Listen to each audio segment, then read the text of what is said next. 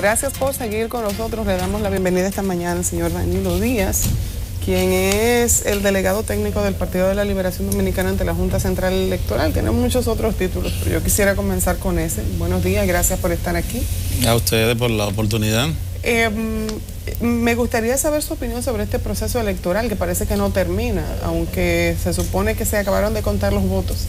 Como quieran, muchas inconformidades con relación al proceso y se espera que una vez concluido todo este proceso, entonces ya comienza una segunda fase eh, en la que personas que no estén conformes pues puedan llevar sus quejas ante el Tribunal Superior Electoral.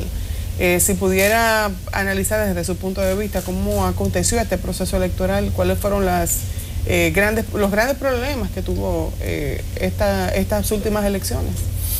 Bueno, este proceso habría que iniciar aclarando es eh, o ha sido el más complejo de los procesos electorales eh, que eh, se han celebrado en, el país, sin duda alguna, por la naturaleza, primero, de elecciones simultáneas que no se realizaban desde hacía ya unos 22 años y que en este caso ya no solamente fueron simultáneas, sino que se agregaban también nuevos escenarios que no existían en 1994, cuando fueron las últimas, como el Parlacén, diputados eh, nacionales, diputados en el exterior, o sea que sin duda alguna no han sido distintas a, procesos electorales anteriores en lo que respecta eh, cuando desde que se inauguró eh, o se implementó en el país el voto preferencial que indudablemente que uno de los componentes que hace más complejo el proceso eh, de elección, porque si no fuera mucho más simplificado y los procesos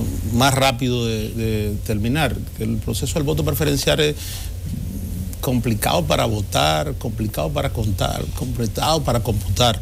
Esa es la, la, realidad. Y es lo que ahora mismo se está arrastrando. Ya está muy definido claro y establecido lo que han sido los resultados a nivel eh, presidencial. Eso fue muy, eh, muy obvio eh, en lo que se respecta a los resultados, que no fueron otra cosa que una confirmación de lo que ya un conjunto de encuestas habían establecido. Y en el caso del nivel municipal, pues también realmente donde mayores diferencias, o no diferencias, o sea, digamos reclamos, está habiendo es en lugares donde la irracionalidad es obvia por la gran distancia que hay entre el, ganador y los que están reclamando. Eh, y en el caso del, voto eh, ya a nivel de los senadores, eso no hay, no hay reclamos, vamos a decir.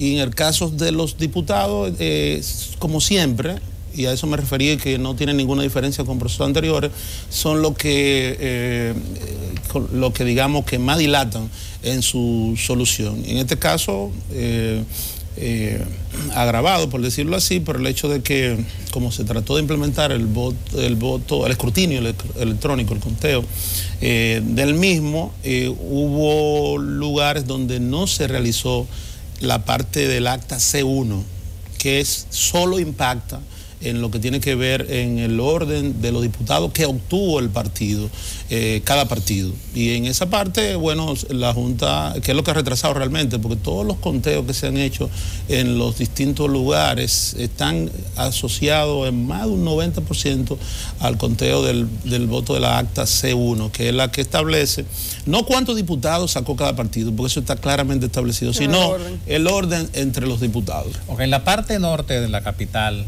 Santo Domingo Norte y Santo Domingo Oeste. Han sido puntos de muchas disputas y cosas que uno no entiende estando un poquito distante y aún estando enterado de muchas cosas. Por Santo Domingo Norte, con la opción a candidato a alcalde, a síndico, el señor Francisco Fernández, parece que no hubo exactitud en el acuerdo electoral del PLD con el PRD y esta persona se ha mostrado sumamente eh, incisivo en el reclamo y Santo Domingo Oeste, donde aparentemente faltó una ratificación de la, del acuerdo electoral, donde se dice que no hubo una asamblea de delegados, no hubo la formalidad protocolar administrativa previa y se reclama de que eso está invalidado.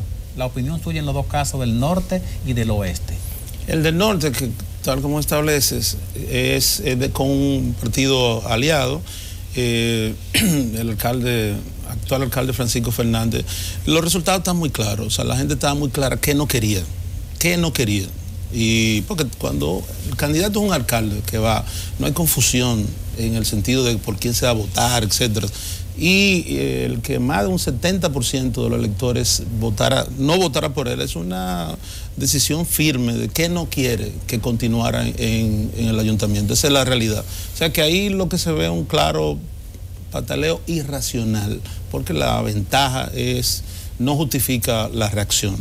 En el caso de Santo Domingo Oeste, en Santo Domingo Este realmente no ha habido reclamo de la oposición. Eh, me refiero a nivel, eh, las decisiones que ha adoptado el tribunal de que se recontara, parecería que fue como la oposición. La oposición no tenía reclamo y de hecho no, no tenía razones, porque en el caso de la, del nivel presidencial fue 60 y pico a tanto. En el caso del nivel eh, municipal fue 60 y tanto a a, poco voto, a 30, 31, 32 por ciento me parece. Eh, o sea que no hubo nunca reclamo. Y el reclamo lo hizo fue en el nivel congresual. Eh, y concretamente de los diputados, que ya comentaba hace un momento. Ahí en, ese, en esa circunscripción, la alianza ganó 5 de 6 diputados. 5 de 6. ¿Quién reclamó?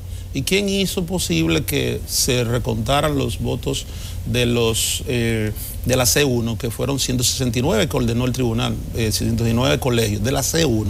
¿Quién hizo posible? La diputada que nos salió de la alianza nuestra, que una diputada que es además, tiene la condición de ser eh, vinculada al actual alcalde, ex esposa, eh, me parece que por ahí anda el asunto, y ha reclamado porque ella no quedó. Está muy claro que sacamos cinco. Ella lo que está reclamando, y tenía razón en cierta forma de que se contaran esas 169 actas, lo cual no iba a cambiar el resultado, porque ya se había contado como un 70% de, la, de, las, de los colegios y marcaba una clara tendencia entre los, eh, entre los seis diputados entre los cinco que habían salido y el que había quedado fuera. El PRM había sacado, había sacado uno.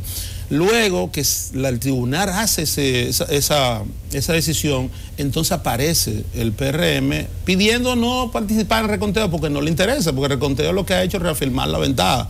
Es lo que ellos también de anular las elecciones. Fue su primera petición, anular las elecciones. Y la segunda eh, fue eh, buscar el tema del pacto, pero lo del pacto es risible y ponerse el candidato. ¿Existe el documento del pacto, del acuerdo? No, no, el pacto existe. Lo que plantea el PRM es que no, es la nulidad porque no se produjo una, asamblea. del PLD ratificando la alianza. Acuérdense que en el caso municipal tenía que ser eh, exactamente lo contrario de lo que pasó en Santo Domingo Norte, es lo que pasa en Santo Domingo Oeste. Ok, y, no, y, ¿qué, es lo que pasa? Los pactos eh, se depositan en la Junta, los partidos, en los plazos pertinentes.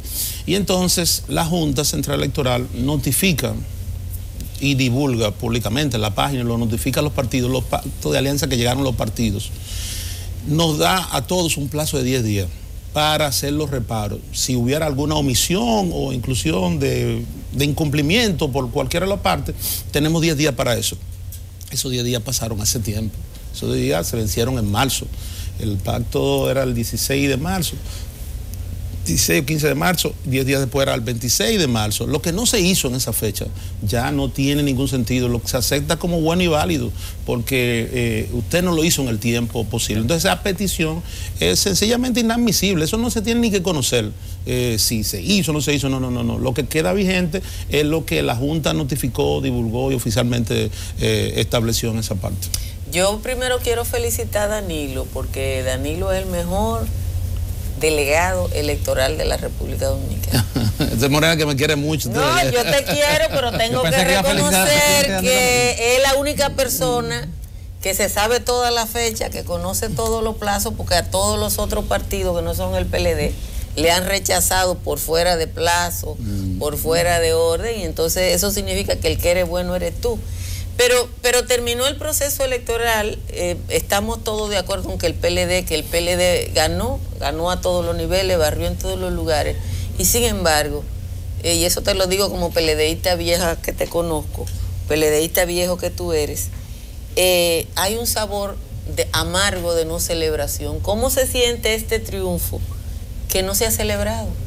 Mira, realmente que es un triunfo sin precedente por el hecho de que no solo se ganó, todavía se presente porque se ganaron las 32 provincias, se ganaron los 158 municipios, los 234 distritos, y en el caso de los distritos se ganaron todas las mesas de los distritos.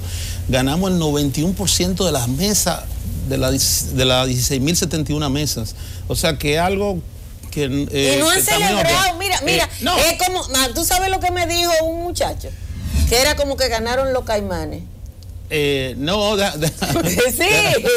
un bizcocho sin su No, no, me dijo, mira, este triunfo del PLD como si hubieran ganado los caimanes. No, no, lo que eh, no se ha celebrado, se ha celebrado. No, no se ha celebrado. Sí, eh, eh, no se ha celebrado, claro que se ha celebrado. Obviamente. Barrieron y no han celebrado. No se ha celebrado porque todo el que ganó celebra y tiene la contentura de, experimentar esa sensación, sí, claro interna no y se ha compartido, ¿no? Pues nosotros hemos compartido, el sábado había una actividad, anoche había una actividad, o sea, se ha compartido y se ha celebrado sin lugar a duda el, resultado. Pero a lo que se refiere la Morena es que eh, indudablemente eh, los reclamos eh, por la naturaleza de las mismas elecciones, o sea, diputados que están pendientes, por ejemplo, hay diputados nuestros que que en el proceso no han salido, que no han celebrado, a pesar de que ganó su partido, por decirte. Si las elecciones hubiesen sido únicamente presidencial, que es como debieran ser las elecciones, yo sé de paso. O sea, nosotros creemos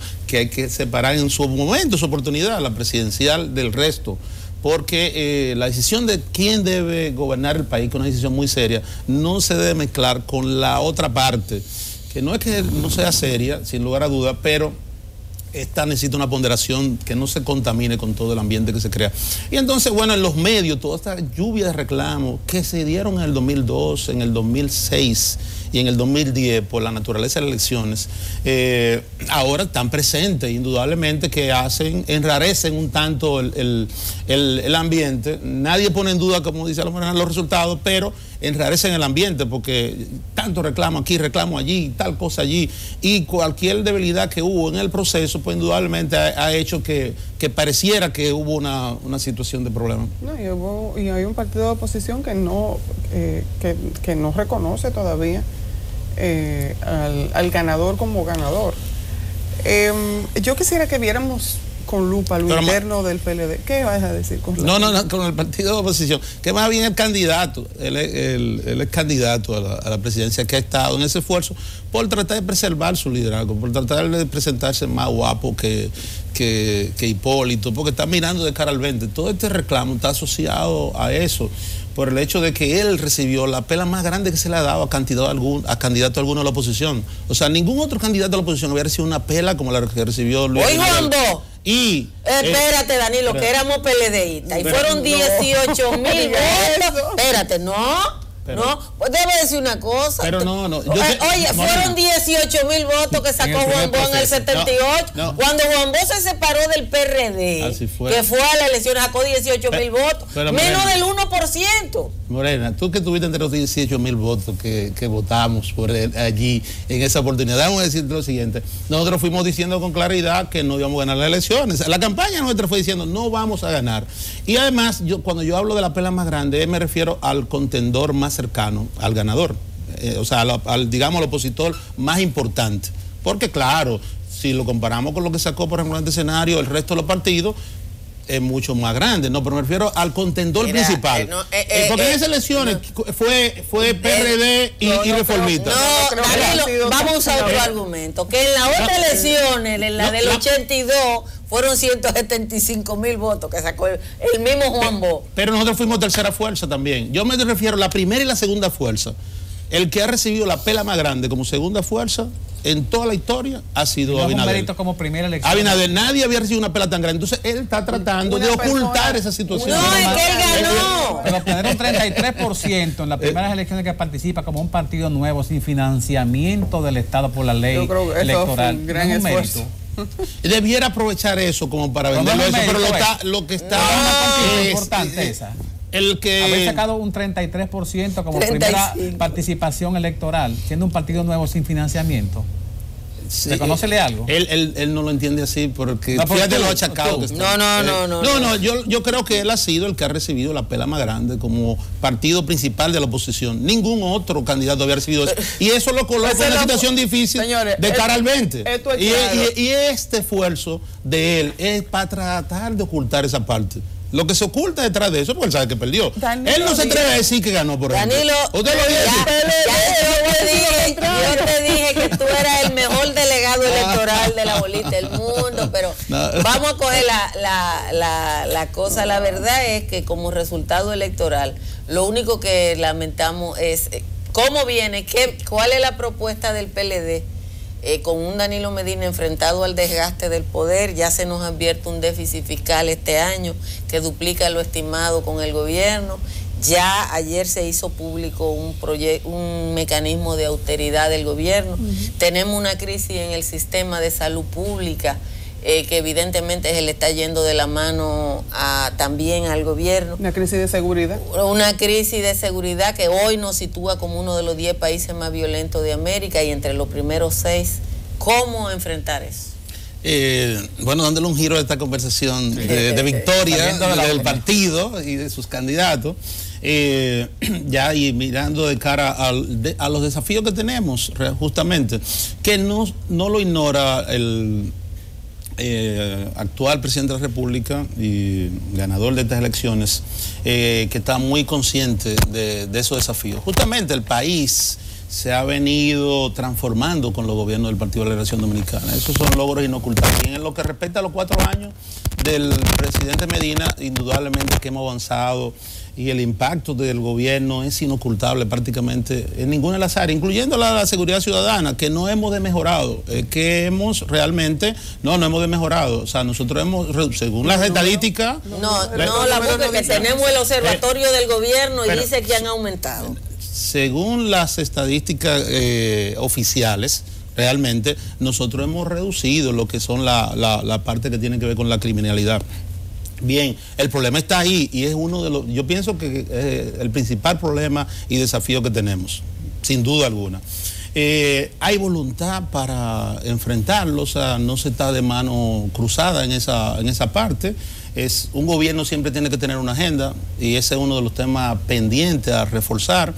Se ha avanzado eh, con el 911, con una serie de conjuntos de medidas, está pendiente la reforma policial. Este es el cuatrenio realmente de hacer grandes reformas en esa, en esa área que permitan, igualmente con el tema de la salud, que permitan avanzar en esos temas que, tenemos pendientes. Pero hay la voluntad de hacerlo. Y este gobierno se ha caracterizado, el gran éxito de este gobierno ha sido que tiene una mesa eh, permanente de diálogo y conversación con los distintos sectores que están involucrados en los distintos temas, que hace que se avance con un esfuerzo eh, de conjunto. No se está excluyendo a nadie en este proceso de querer eh, abordar los temas principales. Servio Turio dijo sentado ahí mismo hace dos semanas que la decisión del presidente es lo más importante para resolver el caso de la Policía Nacional. Eh, se fue más lejos, dijo que era la decisión del presidente lo que lo que, lo que había faltado y por lo que eso no se había iniciado. ¿Va a ser a partir de agosto o antes que se acabe este periodo?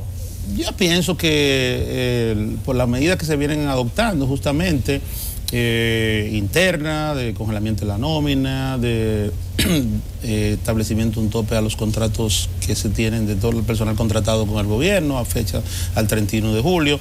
Todo se está estructurando para que cerrar este cuatrenio e iniciar un nuevo cuatrenio eh, que va a enfrentar sin lugar a duda estos desafíos que ustedes han señalado y que tenemos como país. Con este triunfo contundente del danilismo.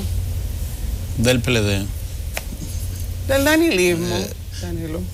Esta es una victoria del Partido de la Elección Dominicana. Danilo le ganó a Leonel. Y evidentemente. no, no, le ganó no. Danilo le tumbó el pulso a Leonel Fernández. No diga así. Pues eso fue lo que pasó. Ah, pero va a parecer que tú quieres decir que lo aplastó. No, no. Podemos usar cualquiera de los dos términos. La verdad es que con esta victoria del danilismo eh, sobre el leonelismo en el Partido de la Liberación Dominicana, ¿cómo está lo interno del PLD? Bueno, te reitero que es una victoria del, del, en la que participaron todas las fuerzas, incluyendo el presidente Fernández, que, tuvo... no quiere ni siquiera estar aquí en el país. no, el presidente Fernández publicó un artículo donde fijaba la posición y dijo claramente la victoria del partido sin precedente, que completa la sexta victoria consecutiva. Todos nos sentimos contentos con el, con el, con el triunfo, sin duda alguna, eh, donde se eligió como candidata a la vicepresidenta, a la actual vicepresidenta. O sea, un triunfo de todos, sin lugar a duda. Eh, internamente nosotros tenemos siempre tenemos una agenda también como partido y sin lugar a duda eh, tenemos ahí temas que abordar con cierta urgencia y que entendemos que este año deben abordarse y definirse como el tema de la ley de partido, que está asociado justamente a tratar de crear las, normas, establecerlas que fortalezcan también el funcionamiento del partido para dirimir las situaciones normales y naturales que se dan en un partido que está en el poder y que hay gente, esos compañeros que aspiran al mismo. Entonces está la ley de partido, la ley electoral, también pendiente, que son temas que pienso que van a ayudar mucho a tratar de crear los mecanismos para evitar que las naturales conflictos que se presentan en el partido eh, no desborden y no tengan consecuencias. ¿Qué tú le dices brevemente al diputado Jiménez que quiere que sean los legisladores que cojan los bufetes y no el comité político? Eh, Jiménez... Un joven apellido Jiménez, un diputado que dijo que son los legisladores los que tienen la facultad de la ley y la constitución para escoger los bufetes y no el comité político, que es una atribución de ellos.